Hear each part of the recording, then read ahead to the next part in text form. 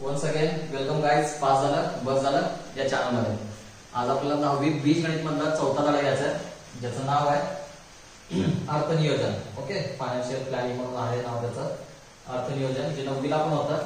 आणि यावर्षी या टॉपिकमध्ये जे चौथा आहे नाव सांगितलं तुम्हाला त्याच्यामध्ये काय?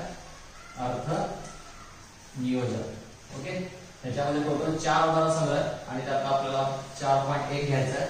आणि पूर्ण पूर्ण जे धडा आहे ते पूर्ण पूर्ण जीएसटी आणि शेअर मार्केट ह्याच्यावर आहे. खूप इम्पॉर्टंट आहे बेसिक नॉलेज असायला पाहिजे. आणि जीएसटी म्हणजे goods and service tax GST मध्ये परत दोन प्रकार पडले जातात. सी जीएसटी आणि S G S T okay सीजीएसटीचा अर्थ होता सेंट्रल गव्हर्नमेंट म्हणजे सेंट्रल जे काय सेंट्रल गव्हर्नमेंट असतं त्यांनी घेतात. आणि स्टेट गव्हर्नमेंट जातं आणि विशेष म्हणजे जीएसटी जेवढं आहे त्याच्या निम्म निम्म हे असतात आता फॉर एक्झाम्पल जीएसटी दहा टक्के असेल तर सी जीएसटी पाच टक्के असणार एस जीएसटी पाच टक्के असणार. कधी पण हे दोन्ही समानच असतात. सी जीएसटी आणि एस जीएसटी हे दोन्ही समान असतात. आणि या दोघांची बेरीज मिळून काय होते? जीएसटी आणि जीएसटीच्या निम्म हे दोन्ही असतात. एवढं जरी नॉलेज असलं तरी चार पाठ तुम्ही सोडू शकता. बाकी थोडंसं कॅल्क्युलेशन आहेत काय काय कशा कशा तेवढं व्यवस्थित डिटेल सांगतो. ओके इम्पॉर्टंट टॉपिक आहे व्यवस्थित लक्ष द्या आता चार पॉईंट एक मध्ये जर आपण पहिला गणित बघितला तर बघा पॉवर मेडिकल्स म्हणून एक मेडिकल आहे औषधाचा पुरवठा करतात. त्यांच्या दुकानातील काही औषधावर जीएसटी दर बारा टक्के आहे. ओके पॉवर मेडिकलला जीएसटी किती त्यांनी? बारा टक्के जीएसटी देतात. तर क्वेश्चनमध्ये असं विचारलंय सी जीएसटी आणि एस जीएसटीचा दर किती असेल? आता तुम्हाला सांगितलं सी जी एस टी आणि एस जी एस टी हे दोन्ही कसे असतील समान असतील आणि हे दोन्ही कोणाचे निम्मे असतात जीएसटीच्या जीएसटी भागिले दोन ओके यांच्या दोघांचा काय काढायचं आपल्याला दर काढायचा सी जीएसटी एस जीएसटी दोन्ही समान असतात जीएसटीच्या निम्मे असतात जीएसटी दिले बारा टक्के भागिले दोन करा दोघांचा दर किती घेणार सहा सहा टक्के येणार ओके पहिला गणित होतं मग सोपं होतं हा होतं समजला असेल तुम्हाला जीएसटीच्या निम्म सी जीएसटी एस जीएसटी असतं आणि जीएसटीचं मिनिंग पण सांगितलं बघा goods and service tax okay जे काय आपण माल विकतो सेवा देतो त्याच्यावर जे कर दिलं जातं टॅक्स म्हणतात आणि हे विशेष म्हणजे चार पॉईंट एक जे टॉपिक आहे म्हणजे चौथा काळा जे आहे अर्थनियोजन हे फक्त महाराष्ट्र बोर्डाने स्वीकारलेलं आहे. बाकी कोणत्याही बोर्डामध्ये शिकवलं जात नाही. ओके दुसरं काय बघा एका वस्तूवरील एक वस्तू आहे सीजीएसटी नऊ टक्के. दुसरं गणित आहे सीजीएसटी किती आहे? नऊ टक्के. तर एस जीएसटीचा दर किती? तसेच जीएसटी किती? उलट विचार बघा. सीजीएसटी दिले आपल्याला किती? नऊ टक्के. तर ऑब्विसली एस टी पण किती येणार? नऊ टक्के. कारण हे दोन्ही समान असतात. आपल्याला जीएसटी विचारलं. जीएसटी किती आहे? सांगितलं. या दोघांना मिळून जीएसटी पूर्ण होत असते. म्हणजे सी जी एस टी अधिक एस जी एस टी नऊ अधिक नऊ बरोबर किती आले? अठरा. म्हणजे नऊ टक्के. नऊ टक्के म्हणजे अठरा टक्के याचा आन्सर येतात ओके दोन्ही फक्त फिरून विचारलं आता बघू रिअलमध्ये जर कॅल्क्युलेशन करायचं असेल तर रिअल व्यवहारामध्ये कसं गणित केलं जातं किंवा जीएसटी कशी आकारली जाते त्याच्या संबंधी काय बघू आपण. काय बघा. आता याच्यामध्ये सांगितलंय मेसर्स रिअल पेंट ने प्रत्येकी अठ्ठावीसशे रुपये करपात्र किमतीचे जे लस्टर पेंट आहे दोन डबे विकले. एक पेंटचं दुकान आहे. एक डबा अठ्ठावीस आहे तसे दोन पेंटचे डबे त्यांनी विकले. जीएसटीचा दर अठ्ठावीस टक्के. त्याला जीएसटी किती बसले? अठ्ठावीस टक्के जीएसटी बसले. तर जे काय बिल तयार करतात बीजेकामध्ये सीजीएसटी एस जीएसटी किती रुपये आकारला असेल दाखवा म्हणतात बघा प्रत्येकी किती? अठ्ठावीसशे रुपये. प्रत्येकी पेंटचा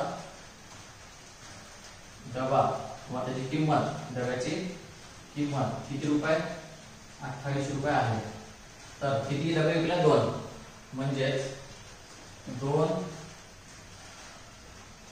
पेंटच्या डब्याची किंमत. आता दोन डबे विकले. म्हणजे किती येणार?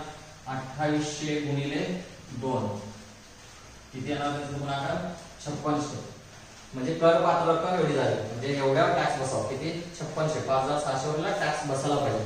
आता एवढा टॅक्स बसायला पाहिजे तर टॅक्स जीएसटी म्हणजे जीएसटी बसायला पाहिजे किती? जीएसटीचा दर किती दिलाय अठ्ठावीस टक्के दिलेला आहे. तर बघू आता. जीएसटी अठ्ठावीस टक्के दिला आहे. मग का आपल्या बीजेटा सी जीएसटी एस जीएसटी किती हाताला जाईल? सी जीएसटी एस जीएसटी काढू आपण. सांगितलं तुम्हाला. जीएसटीच्या निम्मे निम्मे असतात.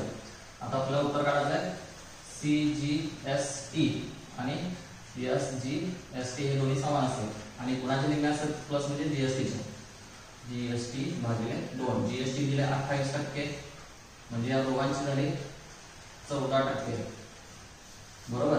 तर याच्यावर आकारू आपण चौदा टक्के आकारू सी जी एस टी आणि एस जी एस टी चं काढायचं आपल्याला. किती? चौदा टक्के काढायचं ना? बरोबर. छप्पन्नशे गुणिले चौदा भागिले शंभर. टक्केचा अर्थ तुम्हाला माहिती आहे शंभर. दोन झिरो गेले दोन झिरो गेले. ओके? तर छप्पन गुणिले चौदा केलं तर सातशे चौऱ्याऐंशी रुपये येतात. म्हणजे सी जीएसटी एस जीएसटीचा दर तेवढा असणार. त्यांच्या बीजेकामध्ये एवढा सातशे चौऱ्याऐंशी सातशे चौऱ्याऐंशी दाखवणार. कळतंय? ओके. आता या टाईपचं आपण एखादं दुसरा वेळ घेऊ. म्हणजे तुम्हाला पाहिजे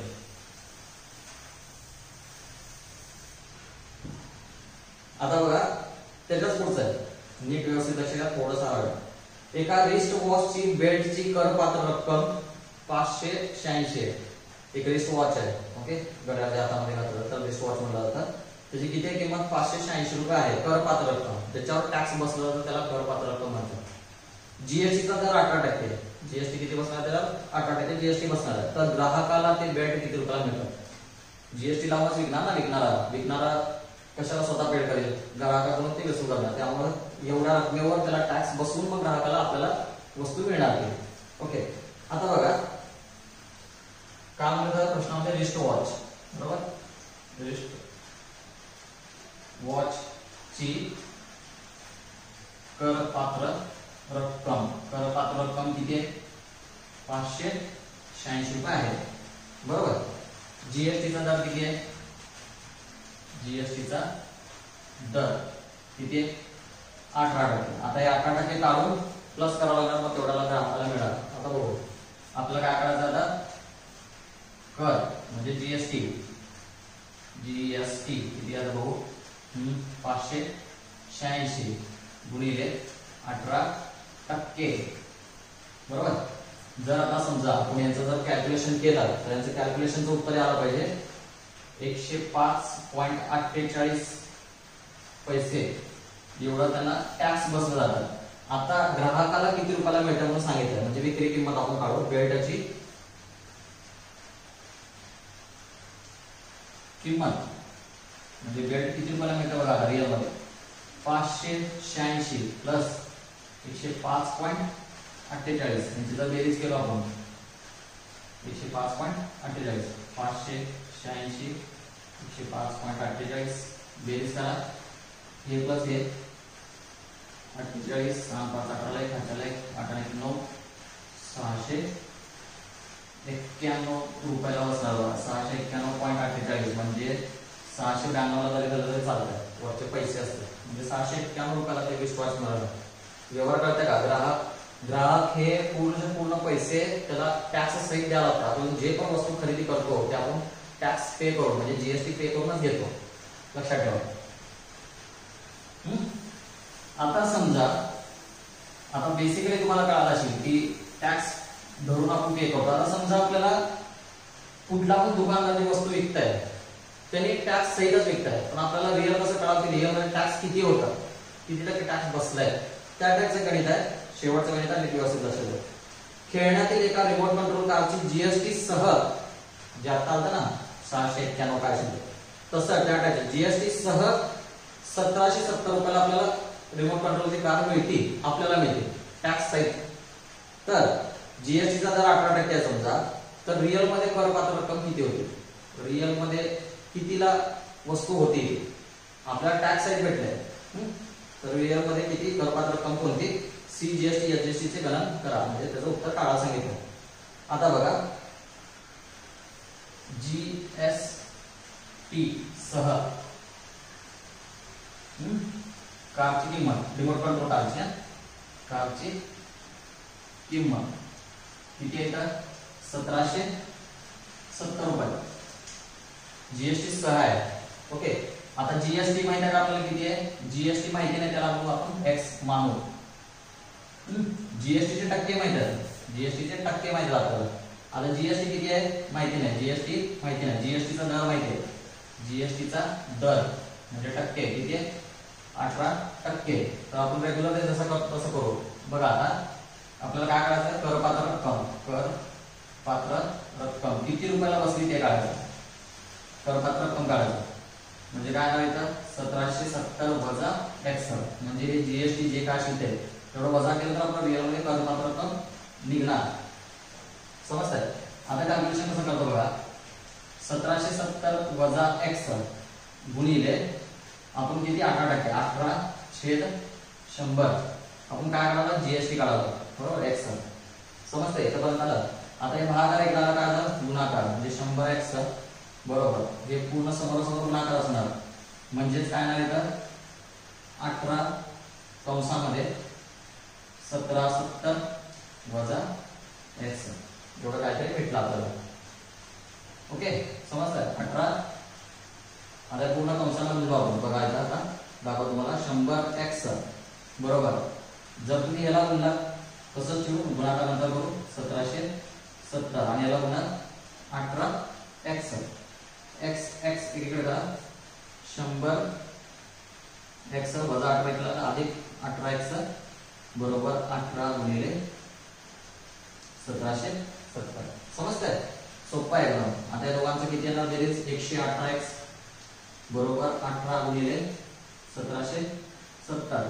एक्स बरोबर अठरा गुणिले सतराशे सत्तर भागिले एकशे अठरा.